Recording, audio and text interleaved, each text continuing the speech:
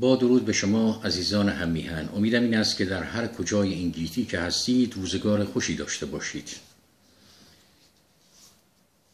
بحث امروز ما ادامه بحث گذشته خواهد بود که و اون صحبت ما در مورد اپوزیسیون بود. اما بیش از اون باید به چند نکته و یا موضوع اشاره بکنم. نخستین که بسیار سپاسگزار هستم از این پشتیبانی همیهنان و دوستان گرامی که من رو تشویق به این کار کردن و این باعث این شده که من انگیزه بیشتری پیدا بکنم برای ادامه این راهی که به تازگی آغاز کردم. اگر راستش رو بخواهید صادقانه باید به شما بگم من هیچ توقع نداشتم که در همین مدت کوتاه تعداد بازدید کنندگان من که در سومین برنامه چیزی حدود 500 بازدید کننده بود این خیلی زیاده. من پیش خودم فکر کرده بودم شاید من بتونم به این 500 بازدید کننده در بهترین حالت در سه ماه و چهار ماه بتونم برسم. و من رو بسیار شادمان می‌کنه که وقتی می‌بینم هم میهنان گران ارجی به این سخنان من توجه دارند. و این فقط مسئولیت من رو افزون می‌کنه. نه اینکه من رو قره بکنه. این قره رو از این جهت به کار بردم که من می‌بینم گهگاه البته خودشون بیان نمی‌کنن اما از کردار بعضی از هم میهنانمون می‌بینیم که وقتی می‌بینن شمار بازدید کنندگان اونها بالاست دوچار این اشتباه برداشت میشن که گویا حقانیت دارن گویا محبوبیت دارن گویا خیلی مطرح هستن در به اصطلاح نزد همیهنان ما. نه این گونه نیست. شما اگر در پی ماجراجویی البته نمی‌خوام بگم اینها در پی ماجراجویی هستن نه.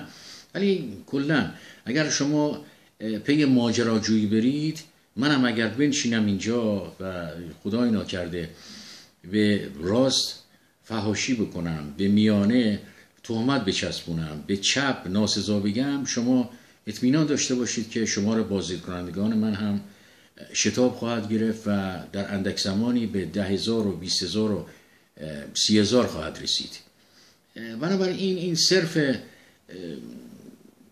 بازدید کنندگان زیاد داشتن هیچ مشروعیت و هیچ حقانیت و هیچ به اصطلاح به معنای این نیست که مثلا این آدم ها در جایگاه خیلی بالایی نشستن. نه نه اینجور نیست هستن. مثلا شما برای اینکه مثال زندگی برای شما بزنم حسن عباسی این اربدکش نظام چاقوکشان و نظام سربران و متجاوزین وقتی یک ویدیویی ازش آپلود میشه یا خودش می‌گذاره یا دوستداران لات و چاقوکش و لومپنش می‌گذارن شماره افرادی که این ویدیوهای این رو می‌بینن یک مرتبه میرید به سر به 50 60 هزار تا می‌زنه. یا فلان آخوندی که مثلا میاد میگه که اجدها در برابر امام محمد باقر زانو زده بود و از او اطاعت می‌کرد و نمی‌دونم گفت من قول و برده تو خواهم شد. از این خزعبلات یا رکیکیاتی که محسن قرائتی روزخان محسن قرائتی ازش آپلود می‌کنن در اینترنت. شما میرید که شمار بازدید کنندگان اینها هم البته نمی‌خوام بگم همه در این ردیف هم نه. مرادم این است که نفرت یک عاملی است که باعث میشه که شمار بازدید کنندگان به اصطلاح خیلی بالا بره.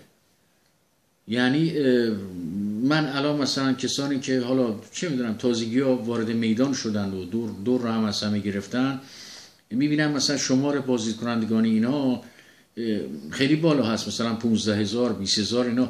خب این اینا فکر می‌کنم مثلا نمی‌دونم به قول عوام دوچار به اصطلاح خودشیدایی و احساس خوشتیپی می‌کنن. نه این چنین نیست. اصلا این چنین نیست. نفرت مثلا شما فرخ نگهدار رو بیارید یا ابراهیم نبوی رو بیارید یا نمی‌دونم الله مهاجرانی رو بیارید در یک برنامه یا با اون مصاحبه بکنید یا, یا در یک برنامه شرکت بکنه. یعنی چهرهایی که واقعا در مردم فقط حالت اشمعزاز و انزجار به وجود میارن. شما می‌بینید که شمار بازدید کنندگان اینها ده ها برابر افرادی چون من هست.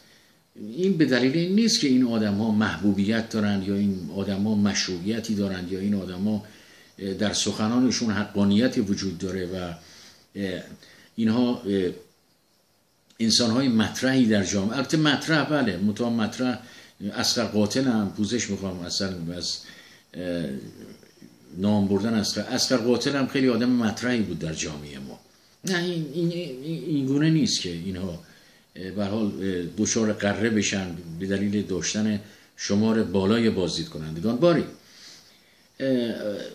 من فقط این شمار بازدید کنندگان در این مدت کوتاه تنها چی حسی رو که در من برانگیخت این است که من احساس مسئولیت بیشتری بکنم. اساسا من به دنبال ماجراجویی نیستم و هرگز هم در پی این نخواهم بود که بحث شخصی مطرح بکنم در سخنانم در برنامه های خودم.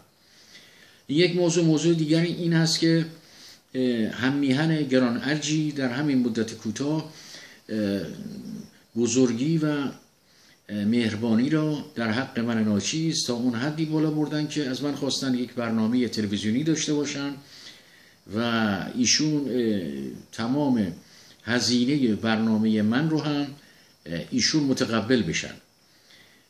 من با تشکر واقعا صمیمانه و قلبی از این همیهن بزرگوار همونطور که در پاسخ به ایشون هم نوشتم در حال حاضر آمادگی این کار رو ندارم. حالا ممکن است که در آینده چنین آمادگی در من به وجود بیاد. ولی در حال حاضر من به انسانی میمونم که پنج شش سالی رو اصلا حرکت نکرده. در یک جایی در حالت درازکش بوده و حال تاز به تازگی سرپا ایستاده و می‌خواد راه بره و مشکل است. این ماهیچه ها نمی‌دونم دو مرتبه خون درشون به جریان بیفته و به چابکی و به تیزی و تندی برسن این زمان می‌بره به دلیل اینکه من 5 6 سال واقعا این کار رو به طور کلی کنار گذاشته بودم. در 5 6 سال پیش البته جوانتر هم بودم. شما حساب کنید الان من در دیگه جوان نیستم در هفتمین دهه از زندگی خودم هستم. و به حال سلولای مغزی آدم فرسوده میشه و دیگه انسان اون توان قبلی رو نداره. البته اگر آدمی ادامه بده به کاری میگن کار نیکو کردن است پر کردن است.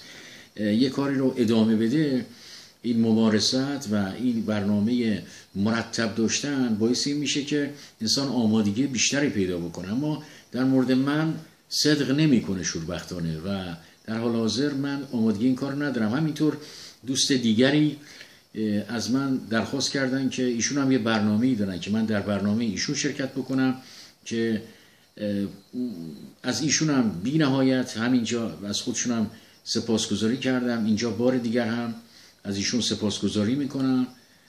اما به ایشون هم عرض کردم که من فعلا آمادگی این کار رو ندارم. حال ببینیم چه پیش خواهد آمد. اما برگردیم به بحث اصلی خودمون. حالا یه چیزی هم همین الان به خاطرم آمد. مثلا آقای علیرضای میبودی گفتم این جار جنجال باعث میشه که شمار بازدید کننده ها خیلی بالا بره. مثلا آقای علیرضای میبودی واقعا در کار رسانه‌ای یک آدمی است که واقعا حرفه‌ای است در کار خودش. خیلی مهارت داره. مثلا می‌بینید در میانه یک بحث ایشون همه برنامه هاش به صورتی هست که بخشی از این برنامه رو بخشی از این ساعاتی که داره یا نیم ساعت یک ساعت حالا هر چقدر که داره اون که اصطلاحا بهش میگن خط آزاد خط آزاد داره. یعنی شنوندگان رو روی خط میاره. البته من الان دو سالی هست که برنامه از ایشون رو ندیدم اما در گذشته به یادم هست که مثلا در میانه یک بحث خیلی جدی بحث سیاسی، فلسفی، تاریخی، اقتصادی، اجتماعی. بر حال یه مباحث خیلی جدی. به یک باره می‌بینید که وقتی خط رو باز می‌کنه یک یکی از این عناصر رژیم از این چاقوکشان از این لومپن ها ایشون میاره روی خط و اون آدم شروع می‌کنه حرفایی رو می‌زنه که یعنی خلاف مصالح ملی ایران هست و به حال سخنانی که آدم ها رو به حالت اشمعزاز به اصطلاح میرسونه و آدم ها حالت نفرت پیدا می‌کنن. اما او اجازه میده که تا به اصطلاح پایان این آدم خزعبلات خودش رو بیان می‌کنه. بعضیا شگفت زده میشن که یارم آخه این چه کاری است؟ اما حکمتی در کار است. و اینو نمی‌دونم همونطور که غربیا میگن این تریک های رسانه ای است و این حالا تریک میشه شیادی و فلان. نه حالا نمی‌خوام اون واژه بد رو به کار برم نه این این فوت و فن کارهای حرفه‌ای است. همین که حالت اشمعزاز به مردم بیشترین شنوندگان یا بینندگان دست میده این باعث میشه که آدم ها عصبی بشن بعد بخوان در مقام پاسخگویی بر بیان و اونها هم روی خط بیان و همین باعث به اصطلاح گرمی رونق بازار آقای علیرضا خان میبودی میشه. و حالا نمونه دیگر مثلا احمدی نژاد احمدی نژاد با همه اون مسخرگیش و با اون ابتزالی که در شخصیت و اندیشه های واقعا قرون وسطایی و اون با همه اون فرومایگی اما باید این کردیت رو بهش داد که وارده که مطرح شدن یعنی خیلی راهش رو خیلی شیوه مطرح شدن رو حالا با بی شخصیتی از من شما بر نمیاد. اما او مهم نیست. اینا اینا انسان های بی هویت و بی بیش نیستن. مثلا میاد یه حرفای خیلی صفیحانه حرفای خیلی مبتزل حرفای واقعا شرماوری رو می‌زنه. اما همون حرفا باعث میشه که حالا محض خندم که شده همه مبدل بشن به نوعی از همه کار می‌گیره. مبدل بشن به مبلغ او. همه مبدل بشن ویدیوهاش رو پخش بکنن محسن قرائتی و همچنین. کما که حتی در ایالات متحده امریکا مثلا همین دونالد ترامپ با همین حرفای غیر متعارفی که می‌زد باعث شد که بعد البته من دیدم یکی از اگر اشتباه نکنم نیویورک تایمز بود یا یکی از این نشریات خیلی بزرگ بود که گفت این از همه ما خوب سواری گرفت. یعنی حرفایی می‌زد بعد چون حرفاش غیر متعارف بود چون حرفاش به از جنس حقیقت و از جنس خرد نبود همین باعث می‌شد که همه شروع می‌کردن این رو حرفا این رو تبلیغ کردن و اصلا دیدید که به ریاست جمهوری امریکا هم رسید با, با همین شیوه. باری حالا این از این بحث بگذاریم و برگردیم به بحث اصلی خودمون که بر سر اپوزیسیون بود. همونطور که در بخش نخستین این گفتار براتون آوردم ما شوربختانه اپوزیسیون نداریم. البته این به این معنا نیست که این رژیم مخالفین نداره. این رژیم من می‌تونم به جرأت بگم گرچه ما آماری نداریم اما 90 درصد از مردم ما به راستی از این نظام نفرت دارن بیزار هستن از این نظام. اما اینها به صورت یک جویهای خیلی باریکی هست که به هیچ جایی منتهی نمیشه به هیچ رود بزرگی که رود بزرگی رو تشکیل بده و یا به یک مکانی به اصطلاح جاری بشود که در اونجا یک دریاچه شکل بگیره یک تالابی شکل بگیره و بتونه به یه سیل بنیانکنی مبدل بشه که بتواند تومار این رژیم رو در هم بپیچه. اینها به جایی نمی‌رسه. این مخالفت ها وجود داره و خیلی هم زیاد وجود داره. اما اینها رو ما می‌تونیم بگیم مخالفین دشمنان کسانی که از این نظام بیزار هستن. اما اپوزیسیون به اینا نمیشه گفت. اپوزیسیون همونطور که در بخش نخستین این گفتار اشاره کردم ویژگی هایی داره که بدون برخورداری از اون ویژگی ها نمی‌توان گفت که این نظام این این همه مخالفین و اینا اینا اپوزیسیون هستن. نه نه خیر اینا اپوزیسیون نیستن. ما امکان داره حتی 95 درصد مردم ایران به راستی از این نظام نفرت داشته باشه. همون که الان فکر می‌کنم گفتم آماری نیست اما به جرأت می‌توان گفت که این نظام ده درصد هم پایگاه مردمی نداره. اما می‌بینید که بر سر کار هست و همچنان مونده و روز به روز هم فربه‌تر میشه. اما حالا این سخنان من در بخش نخستین این گفتار به این معنا نبود که ما به طور کلی اپوزیسیونی هم نداریم اصلا. یعنی این نظام هیچ اپوزیسیونی هم نداره. البته اپوزیسیون داره. اما اپوزیسیون بالفعل نداره. این اپوزیسیون بالقوه هست. من می‌تونم اگر بخوایم راجع به اپوزیسیون این نظام صحبت بکنیم می‌تونم به سه اپوزیسیون اشاره بکنم. سه اپوزیسیونی که وجود داره میشه نامش رو اپوزیسیون گذاشت. که البته یکی از اونها خیلی کم‌جون هست حالا در توضیح خواهم گفت. یکی محلی هست و اون دیگری هم شوربختانه اپوزیسیونی هست که در میان مردم هیچ پایگاهی نداره اما اپوزیسیون واقعی اتفاقا همونی است که در میان مردم ما هیچ پایگاهی نداره. باری اپوزیسیونی که محلی هست مرادم از اپوزیسیون محلی کوردها بودن. خب اینها البته یک اپوزیسیون سراسری و یا ملی نیستن. یعنی مردم ایران رو نمایندگی نمی‌کنن. اینا اپوزیسیون می‌توان گفت به نوع اینا قوم‌گرا قبیله‌گرا هستن و یک اپوزیسیون محلی هستن که در مناطق کردنشین ایران البته محبوبیت هم دارند و سخنشون هم به قول پیشینیان در رو داره. کما اینکه اینا اگر کسی در اونجا کشته میشه در کردستان در مناطق کردنشین ایران و یا یک مسئله به وجود میاد که رژیم برخورد البته رژیم که همه برخورداش بده. منتها یک برخورد خونینی با اینا می‌کنه اینا به محض که اطلاعیه میدن می‌بینید که تقریبا 90 درصد از شهرهایی که همیهان کرد ما در اونجا زندگی می‌کنن به حالت تعطیل در میاد. بازارها بسته میشه کودکان به مدارس نمیرن و تو پنداری که حالت گرد مرگ پاشیده میشه به مناطق کردنشین ایران. و اینها در میان مردم خود محبوبیت دارن و این یه واقعیت انکار ناپذیریه.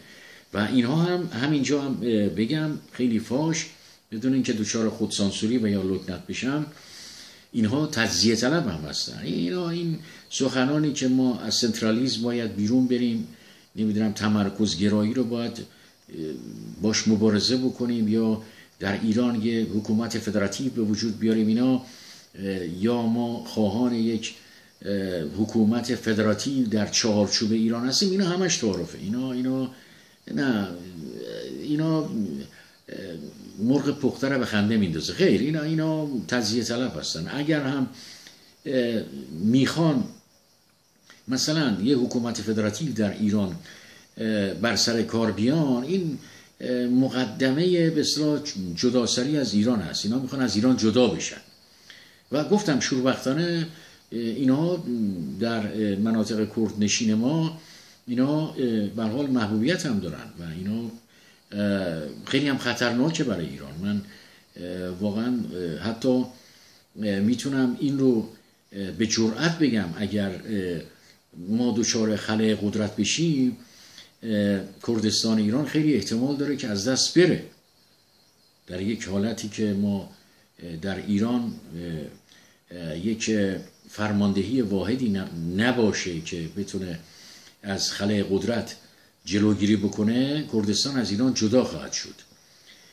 البته قبل از پرداختن به اون دیگر اپوزیسیون این رو هم اضافه بکنم که حرکات دیگری هم هست مثلا در بلوچستان. اما طفلکی ها اینقدر این بلوچ ها زیر ظلم بودن شاید هم این به نفع ماست اما به لحاظ انسانی خیلی باره اینا اینقدر در محرومیت بودن حتی قادر نیستن یه اپوزیسیون محلی هم تشکیل بدن. همون یک اپوزیسیونی بود که اونم اونم اینقدر ارتجاعی که در حد القاعده بود که جیش العدل و جیش الاسلام و از این چیزها اما اما این وجود داره. و این رژیم با بخشی با ندانمکاری بخشی با عدم کفایت بخشی با دزدی چپاول و بخش دیگری هم با دستاندازی و دخالت در کشورهای دیگر این باعث شده که اونها هم بخوان در ایران فتنه به پا بکنن. طبیعی شما وقتی میرید در امور داخلی کشورهای دیگر دخالت می‌کنید شما باید منتظرم منتظر واکنش هم باشید. زدی ضربتی ضربتی نوش کن. این کاملا طبیعی است. و به ویژه از همینجا دری باز بکنم به خوزستان. خوزستان هم از اون مناطقی است که بسیار خطرناکه. در اونجا هم به حال الان داره یک تشکیلات جداسری به وجود میاد با کمک به ویژه با کمک عربستان و چند کشور عربی دیگر. البته شرافتا اگر بخوایم یک بحث احساسی نکنیم من بهشون حق میدم. شما وقتی میرید در تمام کشورهایی که به هر حال عربستان سعودی در اونجا نفوذی داره دست اندازی می‌کنید ماجراجویی می‌کنید فتن اندازی می‌کنید فتنگری می‌کنید خب طبیعی است. اونها هم ساکت نمی نشینن که شما هر کاری دلتون می‌خواد انجام بدین. خب اونا اونا واکنش نشون میدن. ما باید در این بحث ها آرزوها و نمی‌دونم منافع ملی خودمون رو در نظر نگیریم وقتی راجع به اعراب سو اونا هم در چارچوب منافع ملی خودشون. اصلا این چه می‌دونم سیانت ذات از رژیم ها سیانت ذات دارن می‌خوان از خودشون دفاع بکنن از موجودیت خودشون دفاع بکنن طبیعی هست. اونها هم میان در ایران فتنگری رو هم میندازن. کمون که الان انداختن در خوزستان خوزستان هم بسیار بسیار خطرناکه. اما خوشبختانه هنوز مثل اون حرکتی که در کردستان وجود داره در اونجا نتونسته شکل بگیره. اما جمهوری اسلامی در ایران ادامه پیدا بکنه تردید نداشته باشید که ایران با نقشی کنونی حتی احتمال ده درصد هم وجود نداشته نداره که بتونه یک چنین ایرانی بر جای بمونه. من اینو به شما قول میدم. ایران اصلا خواهد باشید. البته یک چیز هم برای شما بگم شاید تلخه اما من در گذشته هم گفتم و حال هم اون رو تکرار می‌کنم. بارها در نوشته هم این آوردم. حقیقت این است حقیقت هم خیلی تلخه. ایران رو در سال 57 سر بریدن. ایران سر بریده شده. دیگه ایرانی که شما فکر می‌کنید اون مجد و عظمت و شوکت و اعتبار که پاسپورت ایرانی در بیش از 156 کشور دنیا بتوان باش بدون ویزا مسافرت کرد و از اون احترام جهانی برخوردار شد و همه درها به روی شما باز بشه اینها دیگه به افسانه ها پیوسته. و به خاطر همین هم است من بارها نوشتم که دوران پهلوی نه یکی از شکوهمندترین بل خود شکوهمندترین فصل از تاریخ ایران پس از استیلای عرب بر میهن ما بوده. و این رو تاریخ به قضاوت خواهد نشست. کما اینکه بعد از 38 سال 38 سال در به اصطلاح در وادی تاریخ به یک حتی به یک چشم زدن هم نمیماند. یعنی کوتاهتر از یک چشم زدن هم هست. ولی شما می‌بینید در همین 38 سال واقعا چه تحول اندیشه‌ای چه تحول باوری به در نسل جوان ما در نسلی که اصلا هیچ ذهنیتی از اون روزگار ندارن خودشون در اون روزگار نزیستن. ولی واقعا می‌تونم حالا جنبه مذهبی نداشته باشه پهلوی ها امروز به کعبه آمال حتی نسل جوان ایران مبدل شدن. حالا این است که یه عده نام خودشون رو گذاشتن اندیشمند و روشنفکر و غیر وزالک که بحث ما این از بحث ما جداست که اینا نمی‌خوان این واقعیت رو بپذیرن. مثلا بله اگر بگویند که پادشاه فقید ایران انسان دموکراتی بوده نبوده. اما یا رضا شاه کبیر فرد دموکراتی بوده نبوده. اما باید توجه کرد رضا شاه کبیر وارث چه مملکتی بود؟ و رضا شاه کبیر ما به صورت کرونولوژی یا کرونولوژیکال باید به روند تاریخ باید توجه بکنیم. همینطور از روی شکم از روی هوا هوس نمیشه در مورد تاریخ قضاوت کرد. و ببینیم که زمانی که رضا شاه زمان برآمدن رضا شاه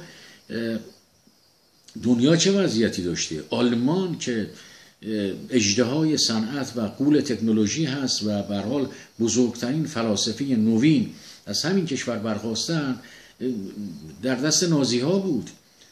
در ایتالیا که او هم می‌بینید که کهنترین دموکراسی رو داشته در دست موسولینی بود و یا یونان در دست سرهنگ ها بود حتی دهه های بعد بنابراین اینی که مثلا یه کسی به من گفتش که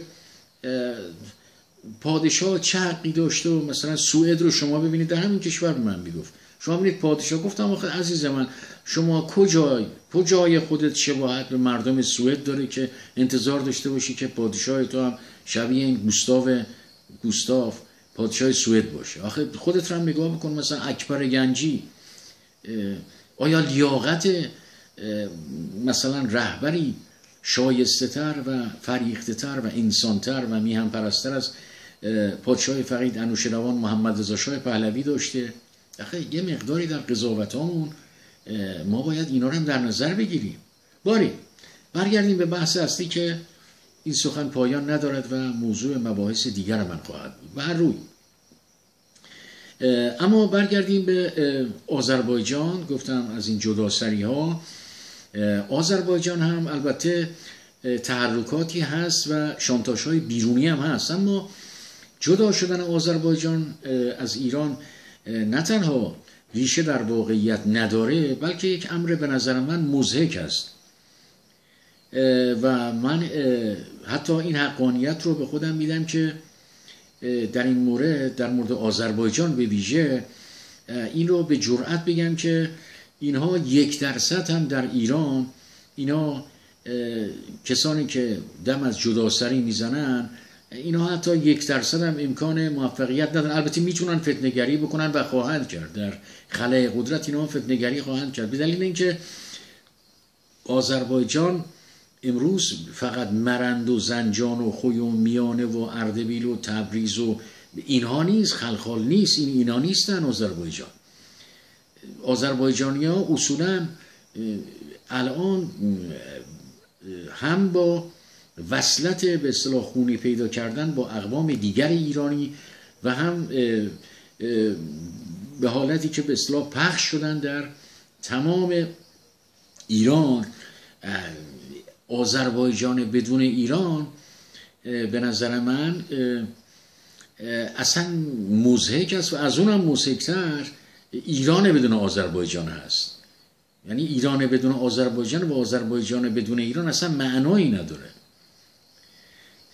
و یه مسئله دیگرم چون گفتم آذربایجانی هستم یه مسئله دیگری هم شاید در میان بازدید کنندگان من کسانی هم باشن که تمایلات به اصطلاح جداسری درشون هست و آذربایجانی ها ببیشه باید توجه کرد عزیز من من به عنوان یک آذربایجانی من تهرانی هستم با پدرم مادری آذری به عنوان یک آذربایجانی من ایران رو مال خودم می‌دونم. شما به من میگید من ایران رو رها بکنم و بیام نمی‌دونم چهار شهر رو بگیرم. مثلا این موزه که از این گذشته نمی‌دونم این این شوونیسم فارسی نه اینا خوزعبلات البته البته بخشی از اینا حقیقت داره. مثلا مادر خود من تا اونگاهی که زنده بود نتونست فارسی درست صحبت بکنه. خب خیلی هم امه من. مثلا اینا از آذربایجان اومده بودن. من خودم دیدم که اینا مورد تمسخر واقع می شدن به دلیل اینکه مثلا قطار رو نمی‌تونن درست تلفظ بکنن. قاطر رو نمی‌تونن تلفظ. خب نیست. اینا اینا به حال پرونانس دیگه. یه پرونانس دیگری اون یک زبان دیگری هست. که شروع یه عده‌ای توهی مغز و انسانهای جاهل اینا رو مسخره می‌کردن. اینا اینا وجود داره. اما اینا دلیل نمیشه که من بیام تجزیه طلب بشم. و گذشته از این شما اگر به تاریخ ایران توجه بکنید جز زندیه و همین دو پادشاه پهلوی بعد از استیلای عرب بر ایران همیشه حکومت های ایران در دست کسانی حکومت های ایران در دست به اصطلاح سلاطینی بوده حکومت بوده که اینا تبار ترک داشتن.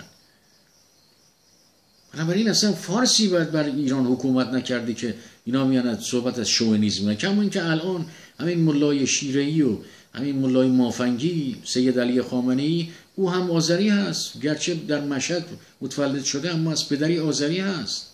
بنابراین آذربایجان رو من زیاد واهمه‌ای ازش ندارم. اما حالا برگردیم به بحث اصلی خودمون که بر سر اپوزیسیون بود.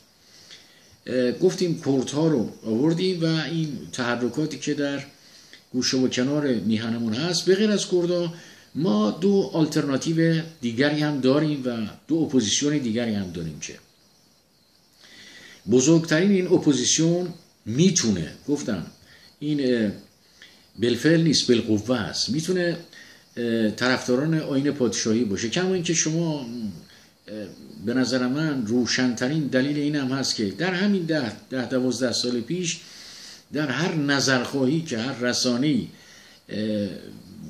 به اصطلاح از مردم خواسته که در این نظرخواهی نظرخواهی شرکت بکنن شازده رضا پهلوی همیشه اول بوده هیچ وقت دوم نشده. از این گذشته خب خود ما می‌دونیم لزومی نیست نمی‌دونم کاغذ بگیریم به قول چه می‌دونم اعراب احسایه داشته باشیم از این بپرسیم. نه نه مشخصه. هواداران پادشاه به پادشاهان پهلوی در ایران و هواداران پادشاهی بنا به دلایل تاریخی در ایران یعنی اکثریت قریب به اتفاق ایران هوادار نظام پادشاهی هستن. حالا بگذاریم از اینکه خب این رسانه ها بیشتر در دست همین کسانی است که انقلابیون بودن و ایران رو به این فلاکت و خاکسترنشینی کشوندن. خب چون مایکروفون ها و قلم ها در دست اونها هست اینا نمیده باستاب نمیدن. اما شما میان مردم حتی خود همین ها حتی حالا جدای از مردم اینا در به اصطلاح در جلوت و خلوت دو روی دارن. حتی خود اینا. اونجایی که در خلوت هست میگن آقا چقدر خوب بود و نمی‌دونم آزادی های فردی وجود داشت این اینا در خلوت. اما در جلوت اونجایی که مثلا بخوان خودشون رو هنوز اون میکروبی وجود داره که من اگر مخالف شاه نباشم دشمن خاندان پهلوی نباشم بس روشن فکر نیستم. این هنوز این خوز اول در ذهن بعضی ها هست. و هر روی.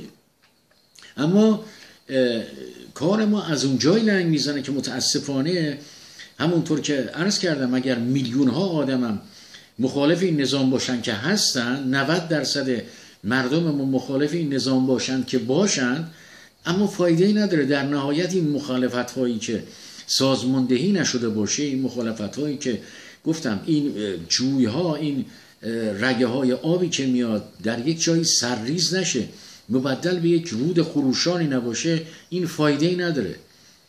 یعنی هیچ کاری را از پیش نخواهد برد. و وضعیت پادشاهی خواهان الان یک چنین وضعیتی پیدا کرده. بنابراین تنها آلترناتیوی که در حال حاضر وجود داره اتفاقا همون آلترناتیویه که همه ادعا می‌کنن هیچ که قبول ندارن. آقا اینا خائنن آقا اینا نمی‌دونم رفیق صدام بودن آقا اینا فرقه هستن آقا اینا درست مثل جمهوری هستن تمام این صحبت ها درست است اوکی؟ بخش بزرگی از این صحبت درست است. اما از یک واقعیت نمی‌توان قفلت کرد که قفلت کردن از این واقعیت ما را به بیراهه می‌بره. سازمان مجاهدین خلق من برای شما عرض می‌کنم. به قول چه می‌دونم پیشینیان ما می‌گفتن که من مرده و شما زنده. تردیدی در این نداشته باشی که سازمان مجاهدین خلق حکومت بعدی ایران رو تشکیل خواهند داد. تردید در این نداشته باشی. مگر اینکه در این میان هیچ چیزی قابل پیش بینی نیست. یک رخداد غیر منتظری به وقوع بپیونده یک چیزی که خارج از انتظار ما هست به وجود بیاد که به حال وضعیت ایران را به طور کلی دگرگون بکنه. اما در روند کنونی باز هم می‌کنم سازمان مجاهدین خلق تنها نیرو تنها آلترناتیوی هستن که الان وجود داره. و تنها نیرویی که در برابر سا... البته نه شاید هم درست نباشه نه اینا ایرانی هستن نمیشه سازمان نمیشه اینا رو حلق آویز کرد. نه از بین نخواهند رفت. اینا رو اتفاقا باید آورد در بازی دموکراسی در برابر مردم گذاشت و اینا رو دموکرات کرد. اینا هم زمانی میشه دموکرات کرد که شما نیروی قویتر منسجمتر از اینا تشکیل بدید. در غیر این صورت سازمان مجاهدین تردید نکنید. ایران مال سازمان مجاهدین. حالا شما می‌تونید فهاشی بکنید. شما, شما می‌تونید اینا رو فرقه بنامید. هر هر چقدر که دلتون می‌خواد. اما واقعیت رو عوض نمی‌کنه. سازمان مجاهدین organize هست mobilize هست به قول معروف. فرماندهی واحد داره. مگر شما فکر می‌کنید که حکومت رو به دست گرفتن کار مشکلی است در خلأ قدرت؟ نه بسیار کار ساده‌ای است. حکومت یه مراکز سمبولیکی داره. شما این مراکز سمبولیک رو اشغال بکنید در خلأ قدرت هم اشغال کردن. نه اگر فرماندهی واحد وجود داشته باشه بسیار کار سادیه شما رادیو تلویزیون رو بگیرید خزانه کشور رو بگیرید وزارتخانه ها رو بگیرید بانک ها رو بگیرید. حکومت ایران رو به دست گرفتید به همین سادگی. به همین سادگی. و مجاهدین می‌تونن این کارو بکنن. اما هواداران آین پادشاهی ولی اینکه شمارشون از شاید به جرئت می‌تونم بگم از 50 میلیون فراتر میره. فاقد چنین قدرتی هستن. برای اینکه سازماندهی ندارن. برای اینکه سر و سامانی ندارن. و همین بود که من گفتم شوربختانه کسانی که در همین طیف پادشاهی خواهان وجود دارن که نه تنها کمکی به به اصطلاح انسجام این گروه غالب نمی‌کنن بلکه با نابخردی بلکه با نادانی باعث تفرقه هم میشن. کمون که گفتم یکی از بدبختی های ما اینه سی و هشت ساله. نگذاشتن یک چهره رشد بکنه. یک چهره شما در میان به اصطلاح هواداران آین پادشاهی نمی‌گذارن. اصلا خودشون نمی‌گذارن. حالا جدا از اینکه رژیم ترور شخصیت می‌کنه خود اینا نمی‌گذارن. و این خدمت به این نظام جمهوری اسلامی هست. از سر نادانی از سر نابخردی. نابخردی دیگر هم این است که مثلا میان ادهی و هواداری از پادشاهان پهلوی به زنده دکتر محمد مصدق فهاشی می‌کنن. هیچ کاری نابخرد نابخردانه تر از این کار نیست که. شما بیایید به دکتر محمد مصدق زندیات محمد مصدق بیایید فهاشی بکنید. دکتر محمد مصدق اصلا در طیف پادشاهی خواهان است. اختلافی هم داشتیم با پادشاه فقید. نیم کودتای 28 مرداد و فلان. اونم اگر اسمشو بذاریم کودتا که حالا نمی‌خوام اصلا وارد اون بحث بشم دیگه محوه شده این بحث. حالا درود به روان دکتر محمد مصدق. اما اون حکومتی که آجدان قزی و نمی‌دونم برادران رشیدیان با بیان با دیویس هزار تومن نمی‌دونم 300 یه میلیون تومن بیان کودتا بتونن راه بندازن خاک بر سر اون دولت بکنن. خاک بر سر اون دولتی بکنن که آجدان قزی می‌تونه بیاد نمی‌دونم شعبان بیموخ می‌تونه بیاد نمی‌دونم کودتا بکنه در ایران. ببینید اون دولت چقدر بی ارزه بوده. حالا این که این فحاشی به حتی کسانی که امروز همه توده یا مصدقچی شدن. همه توده توده هایی که مصدق و سگ زنجیری امپریالیزم می نامیدند و بدترین فحاشی رو به این پیرمرد می‌کردن الان همه مصدقی شدن. ایده هم نابخردانه میان به هواداری از مصدق به پادشاهان پهلوی فحاشی می‌کنن. شما در خدمت نظام جمهوری اسلامی هستید به نام مصدق به پادشاهان پهلوی توهین بکنید و به نام پادشاهان پهلوی به مصدق توهین بکنید. هر دوی شما در خدمت جمهوری اسلامی هستید. من یک برنامه ویژه خواهم داشت راجع به عملکرد مهندس بهرام مشیری. البته بدون اینکه به ایشون بخوام اهانت بکنم. بهرام مشیری اونجایی که تا اونجایی که کارش مربوط به نقد این خوزه اولات میشه نقد معرفت شناسی است کاری بسیار ارزنده است. اما ایشون در میدان سیاست خود یکی از عوامل ماندگاری این رژیم. ما خیلی جالب است. از ایشون دعوت به عمل میانن که بره راجع به موانع دموکراسی ایجاد دموکراسی در آن صحبت بکنه. خود ایشون یکی از عوامل ماندگاری این رژیم است. ما نمی‌تونیم نفی بکنیم. ما مجاهدین رو نمی‌تونیم نفی بکنیم. ما وجود چپ رو در نمی‌تونیم نفی بکنیم. بلا اینکه تعدادشون خیلی کمه. شما چطور یک گروهی رو که گروه قالب هست؟ همه می‌دونن گروه قالبه شما چطور میاد بین اهانات می‌کنید؟ وقتی شما این نیرو رو تخریب می‌کنید خواسته و ناخواسته در خدمت نظام جمهوری اسلامی هستید که آقای بهرام مشیری یکی از خادمان بزرگ نظام جمهوری اسلامی. با چه تمسخر؟ مهندس بهرام مشیر محترم از صد امتیاز حتی حاضر نیست دو امتیاز به پادشاهان پهلوی بده. همه این برنامه ها مگر از من بپرسید؟ بهانه است. اصلا هدف اصلی ایشون عقده گشایی و فواشی به پادشاهان پهلوی. خب این سودش به کی می‌رسه؟ کما اینکه این نابخردانی که به دکتر محمد مصدق فهاشی این سودش به کی می‌رسه؟ این فقط سودش به حساب جمهوری اسلامی واریز میشه. ما دست کم از کسانی که ادعای فریختگی دارن ادعای بزرگی دارن ادعای ادیب بودن و علامه بودن دارن. این دست کم انتظارمون از اینا هست که اینا اینجور نابخردانه عمل نکنن اینجور باعث به اصطلاح بیشتر شدن این آتش خانمانسوزی که به دامن ایران افتاده نشوند یک جایی این زخم ها باید درمان پیدا بکنه. شما با به فحاشی به زندگی دکتر محمد مصدق نمیتون نمی‌تونید ایران رو آزاد بکنه کما اینکه با فحاشی به پادشاه پهلوی امکان نداره شما بتونید ایران رو آزاد بکنید. اصلا کار غیر ممکنه.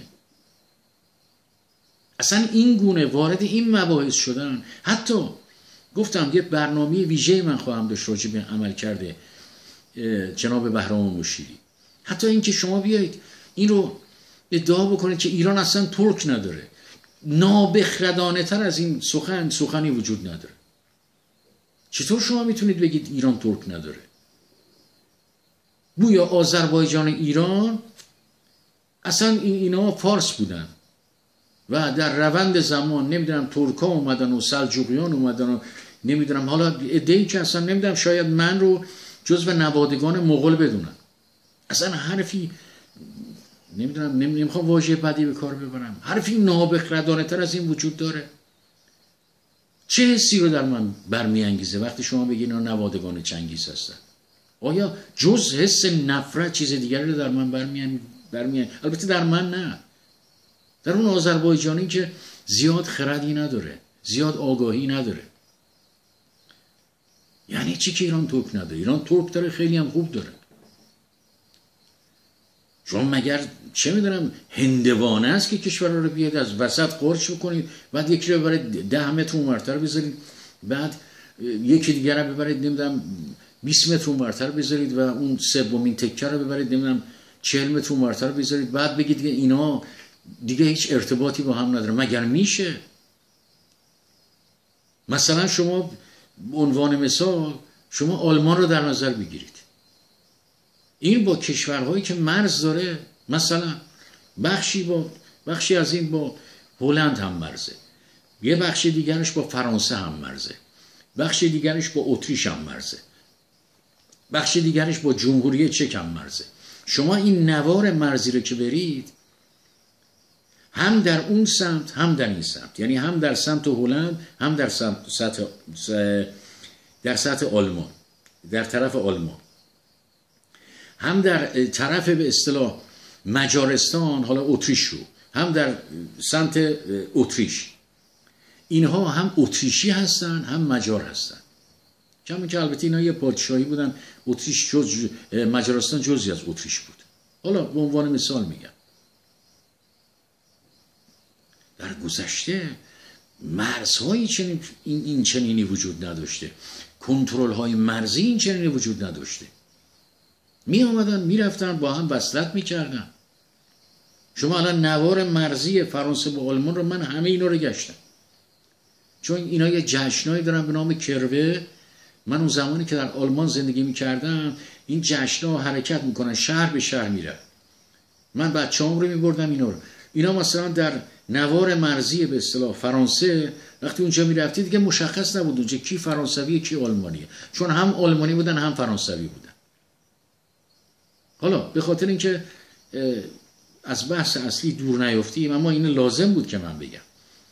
این برخوردهای غیر مسئولانه حداقل از کسی مثل بهرام مشیری که البته من انتظاری بی این که بخوام اصلاح ادبی به ایشون بکنم بی ادبی بکنم من اصلا بهرام مشیری رو اگر راستش رو بخواد ببینید ما خردمند بودن با خردورزی تفاوتش از زمین تا آسمان هست. یکی از بدبختی های ما همینجا بگم این است که ما همه امور رو معرفتی می‌دونیم. بسیاری از امور معرفتی نیستند. یعنی به چه صورت شما اینا رو در کتاب ها نمی‌خونید دموکراسی حتی یه امر معرفتی نیست. شما هزاران جلد کتاب راجع به سکولاریزم دموکراسی حقوق بشر بریزید جلوی این مله ها اینا رو وادار بکنید که اینا رو بخونن. شما فهم کنید اینا دموکرات میشن؟ نه اینا معرفتی نیست. مثلا اکبر گنجی من فکر کنم که هیچ کس نسبت به سنش به اندازه اکبر گنجی کتاب نخونده باشه. اما وقتی دهانش رو باز می‌کنه بوی گند مذهب از جمله جمله از واژه واژهش به بیرون میتراوه. اینا امور معرفتی نیستن. این نیست که آقای بهرام مشیری البته درود بر ایشان گفتم نمی‌خوام اصرار این اینا دیدگاه های من هست. ایشون رو در شمار خردمندان ایران دانستن از بیخوبون خطاست. ایشون حافظه بسیار قوی داره. درود بر او. حافظه فوق العاده قوی داره. اون چنان حافظش قوی هست که می‌تونه هر متنی رو هر شعر رو با یک بار خوندن حفظ بکنه. اما این دلیل بر خردمندی نیست. او این رو از پرقنداق داره. خردمندی چیز دیگری است. چه نابخردی از این بالاتر که در این به اصطلاح بلایی که دامنگیر کشور ما شده این جب دشمنی که وجود داره شاهی و مصدقی و کودتاچی و حرکت ملی و خیزش ملی و اینا. شما بیاید به جای اینکه ادعای بزرگی و خردمندی هم دارید. نمی‌خوام بگم تاریخ رو تحریف بکن. نه نه اصلا مراد من این نیست. اما هر چیزی رو گفتم به صورت کرونولوژی. به صورت ادواری بیایم بررسی بکنیم. آخه هر سخنی باید به تاریخ و جغرافیای سخنان باید توجه کرد. گرچه همه چیز در میان ما الله بختکی است. مثلا میان میگن ولتر گفته من جانم رو فدای این می‌کنم که تو بتونی حرف خودت رو بیان بکنه. گرچه اصلا نه این سخن مال ولتره نه اصلا چنین سخنی خردمندانه است. یعنی چی؟ من باید جان خودم رو فدا بکنم. حسین الله کرم بیاد حرف خودش رو بزنه. جان خودم رو فدا بکنم. عنصر پلید عنصر چجوری براتون عنصری که مغزش کرم گذاشته مثل احمد جنتی بیاد حرفش رو بزنه. این اصلا حرف خردمندانی ما یه چیزایی میشنفیم چون عاشق شعر هستیم. یه چیزای ذهنی است بدون اینکه توجه بکنیم این سخن در چه شرایطی گفته شده در کجای جهان گفته شده عینا همون رو میایم تو تیواری تکرار می‌کنیم به برگردیم به بحث اصلی. گفتم برای تک تک اینها من برنامه خواهم داشت. و راجع اینا به طور مفصل صحبت خواهم کرد. در اندازی فهم خودم اون که من میگم بی تعارف فریبکارانه وطنی که بعضی ها می‌دونید این تعارف فریبکارانه وطنی به این صورت است که نه من سوادی ندارم و طرف انتظار داره که میگن ای آقا شما استاد بود. نه نه من از این خودشکنی های فریبکارانه بلد نیستم که نمی‌دونم باستاب اون این باشه که من میگن آدم خردمندیه. نه من می‌دونم بالای خودم هم می‌دونم پایین خودم هم می‌دونم ضعفای خودم هم می‌دونم و هیچ ادعایی هم ندارم. اما حداقل این رو می‌دونم که خرد یعنی چی؟ خرد ورزی یعنی چی؟ حداقل اینو می‌دونم. حداقل می‌دونم یه انسان خردمند باید چه ویژگی هایی داشته باشه؟ گفتارش چه باشه؟ رفتارش چه باشه؟ حداقل من اینا رو می‌دونم. و شادمانم از این که اینا رو می‌دونم. یعنی چی که شما این آتش گرفته ایران آتش گرفته شما هی بیاد بنزین بپاشید رو این آتش بعد نام خودتون هم بذارید میهن پرست نام خودتون هم بذارید آزادی خواه. چگونه آزادی خواهیه چه میهن پرستیه آخه تعهد کجاست؟ شعور کجاست در اینجا؟ باری. گفتم که سازمان مجاهدین شما ببینید الان سازمان مجاهدین چطور لابی می‌کنن؟ سازمان مجاهدین شما ببینید الان در اتحادیه اروپا در اتحادیه اروپا حتی در پارلمان اروپا نفوذ دارن. در نمی‌دونم از وزرا از سناتورها در نمی‌دونم امریکا از کنگرسمن ها نمی‌دونم از از همه چی همه چی یعنی هم پول دارن. و از اینها گذشته شما می‌تونید هر تهمتی به اینها ببندید یا اصلا راستی تهمت هم نباشه. هر چه دلتون می‌خواد راجع به سازمان مجاهدین بگید. اما یک چیز رو نمی‌تونید کتمان بکنید. سازمان مجاهدین سازمانی هستن که اعضای اون بیشترین شماره اعضای اون. حالا هر اینجا بحث کیفی من نمی کنیم جان بر فدای آرمان های خودشون می‌کنن اگر لازم باشه من اینجا یه مدتی کار ترجمه انجام می‌دادم. و شرافتمندانه میگم کار ترجمه بدون پول انجام می‌دادم. که بتونم کمکی کرده باشم به هم میهنانی که از ایران از بیدادگری این رژیم ان ایرانی فرار کردن. من مجاهدین رو می‌دیدم طرفدار سازمان مجاهدین. البته سالهای گذشته. واقعا اینها یک حقوقی را از سوسیال می‌گرفتن و یک مبلغ خیلی ناچیزی است ماهیانه. نصف این رو به سازمان مجاهدین خلق کمک می‌کردن. نصف پولی که از سوسیال می‌گرفتن که شکمشون رو سیر بکنن به سازمانشون کمک می‌کردن. این واقعیت است که وجود داره. گفتم فرماندهی واحد. شما با فرماندهی واحد به راستی میگن. تردید در این نکنید. می‌تونید با پنج هزار نفر ایران بگیرین. حتی کمتر با سه هزار نفر شما می‌تونید ایران بگیرین. و مجاهدین می‌تونن این کارو بکنن. و اتفاق غیر مترقبه‌ای نیفته. این کار خواهند کرد. مسئله دیگری که من باید بهش اشاره بکنم این است که میگن سازمان مجاهدین چرا نمیاد بنشینه با ما؟ چرا نمیاد مذاکره بکنه با اپوزیسیون؟ اولا گفتم که اپوزیسیون وجود نداره. از این گذشته سازمان مجاهدین اصلا حق داره با شما مذاکره نکنه. آخه شما کی هستی؟ چه امکاناتی دارید که ساز من مگر اینا پوزش می‌خوام؟ نمی‌خوام از این واژگان به کار ببرم. خواستم بگم مغز خر خوردن که بیان با شما یک جا بنشینن. آخه برای چی باید چه نیازی دارن به شما؟ شما اونگاه می‌تونید از گروهی کسی دعوت بکنید که شما هم در حد او توان داشته باشید که بیاید دست به دست هم بدید. سازمان مجاهدین چه احتیاجی داره؟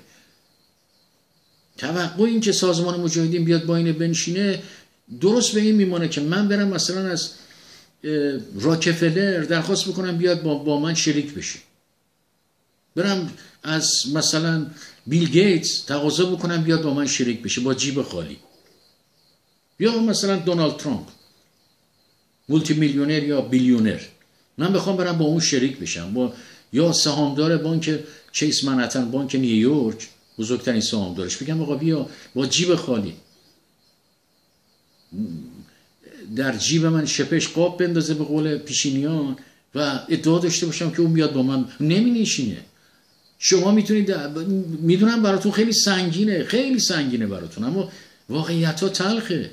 شما می‌تونید برید از سازمان. من می‌تونم برم از دونالد ترامپ کار بخوام. یه پستی به من بده. نه اینکه بیاد با من شریک بشه انبازی با من بکنه. اصلا در حد من نیست. سازمان به خاطر همینه من سازمان مجاهدین اصلا توجهی نداره به اینو کار خودشو می‌کنه. لابیای خودشونو می‌کنن اصلا ایده میگن رفتن از لهستان برای تظاهراتی در پاریس رفتن از لهستان آدم آوردن. درود بر اونو درود بر اونو بحث کیفی من نمی‌کنم. اینقدر به اصطلاح ایمان راسخ دارن به راهشون اینقدر محکم هستن که می‌تونن برن از حتی از لهستان آدم بیارن. اینم اینم مرزه می‌خواد اینم خودش مرزه می‌خواد.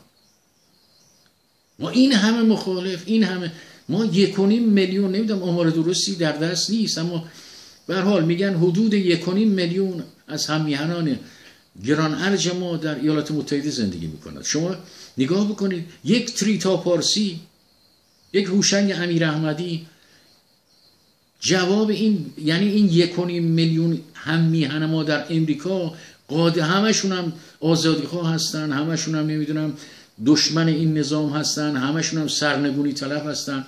اما یکونیم میلیون ایرانی نمی‌تونن در مقابل در برابر تریتای پارسی بیستن. و میشه با یک تظاهراتی با یک یه تحرکی یه چیزی نشون بدیم. ما هستیم ما, ما انسان هستیم. ما خواهان این هستیم که از این ننگ و بدنامی نجات پیدا بکنیم اروپایی که من زندگی می‌کنم درش این همین. محمد جواد لاریجانی یک قاتل برفطره یک دزد یک جانی یک متجاوز یک انسانی که واقعا نمی‌دونم مغزش گندیده.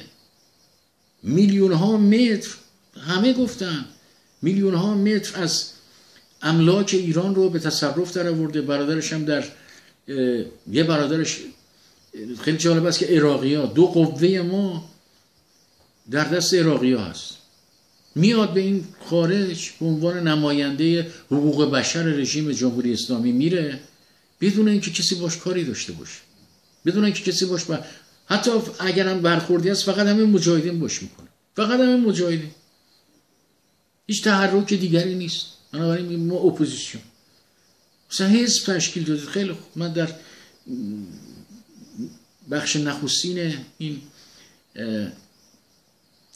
ویدیو هم گفتم.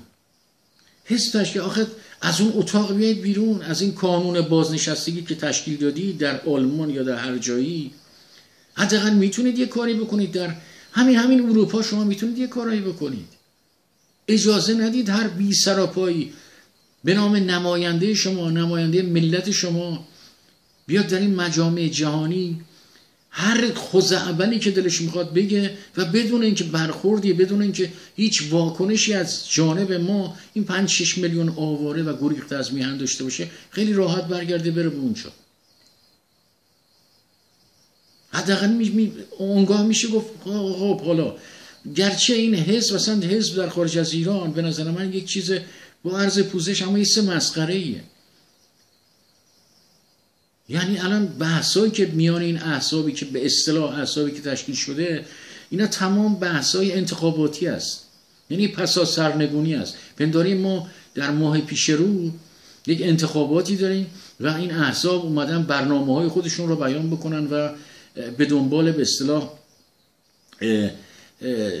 کسب رأی از مردم هستن. عزیز من اصلا زمینی وجود نداره که شما نمی‌دونم در فکر این باشید که یعنی اسب نخریده دارید آخر می‌کشید. ابتدا باید ایرانی وجود داشته باشه. از همینجا از همین خارج از ایران شروع بکنید. و روی از اونجایی که زمان من رو به پایان هست یک بار دیگه هم من اینو صمیمانه به عنوان یک همی هم من شاید بتوان گفت نمی‌دونم حتی در مقامی نیستم بگم اختار نه. من کی هستم که اختار بدم؟ اما هشدار. هشداری فقط از جانبی کمیانتون یادتون باشه. اگر تحرکی به از جانب طرفداران آین پادشاهی صورت نگیره آینده ایران تردید نکنید که مال سازمان مجاهدین خلق است. ما با فهاشی با تهمت زدن به جایی نمی‌رسیم کار به سامان نمی‌رسه با این کارها. باید فکر اساسی کرد. با فهاشی به زندیات دکتر محمد مصدق اصلا دکتر محمد مصدق اصلا در درون ماست. در درون طرفداران آین پادشاهی اما عده انقدر نابخردن به این چهره درخشان تاریخی اینا فهاشی می‌کنن. به نام طرفداری از پادشاهان پهلوی توده هم که از خدا خواسته همینو می‌خوان. دشمنان ایران همینو می‌خوان. از این هیمه درست کردن برای سوزاندن ایران. که اون بیاد به پادشاهان پهلوی فش بده و در پاسخ اصلا همینه می‌خوان. هی بنزین میپاشن روی این آتش. عناصر نمی‌دونم با چه واژه‌ای. پوزش می‌خوام نمی‌دونم. عناصری هم همین همینه بگم. مثل آقای بهرام مشیری نام خودشون هم ادعای خردمندی هم دارن. در این کوره ایرانسوزی میدمن با نابخردانه. با ایجاد نفاق بیشتر با ایجاد نفرت بیشتر. در این کوره ایرانسوزی میدمن.